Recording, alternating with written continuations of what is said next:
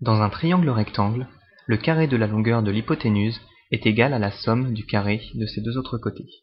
Ainsi s'énonce le plus célèbre des théorèmes de la géométrie euclidienne.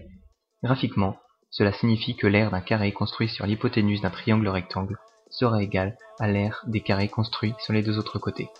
Mais comment le démontrer formellement? Faisons-le en deux minutes. Soit ABC rectangle en A. On construit BCED, ACKH et FBAG, carré extérieur à ABC. Les triangles FBC et ABD sont alors isométriques et donc ont la même aire. Soit D, la droite parallèle à BD passant par A. Elle coupe BC en P et ED en L. Alors BPLD est un rectangle de même base et entre deux mêmes parallèles que ABD. L'aire de BPLD est donc égale au double de celle de ABD.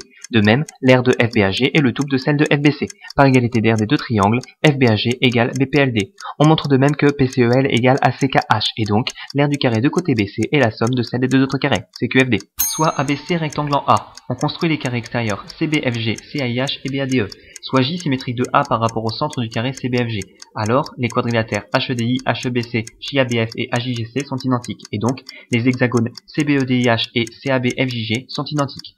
En retirant deux fois l'aire de ABC de chaque hexagone, on trouve que l'aire de CBFG est égale à la somme des aires des deux autres carrés. CQFD. Soit ABC, triangle rectangle de longueur A, B et C. On construit BED une copie de ABC dans le prolongement de AB. Alors le trapèze AEDC a pour aire ABC plus ED facteur de AE sur 2, c'est-à-dire B plus C facteur de B plus C sur 2. De plus, l'aire des triangles ABC et BED sont BC sur 2 et l'aire du triangle de rectangle BCD est A carré sur 2. Puisque l'aire du trapèze AEDC est égale à la somme des aires des trois triangles, on a B plus C facteur de B plus C sur 2 égale BC sur 2 plus BC sur 2 plus A carré sur 2. Après simplification, il reste B carré plus C carré égale A carré. CQFD. Soit ABC, triangle rectangle de longueur A, B et C. Avec quatre exemplaires de ce triangle, on construit un carré de côté A plus B. L'aire de ce grand carré est égale à l'aire des quatre triangles plus l'aire du carré de côté A. En déplaçant ces triangles, l'aire du grand carré devient la somme de l'aire de quatre triangles plus l'aire de deux carrés de côté B et C. Donc A carré égale B carré plus C carré. C'est QFD.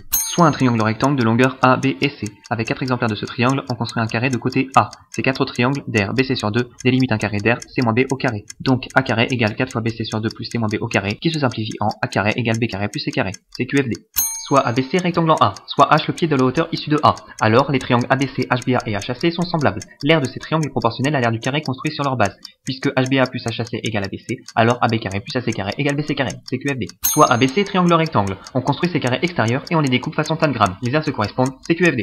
Ou alors, on peut les découper comme ça, c'est QFD.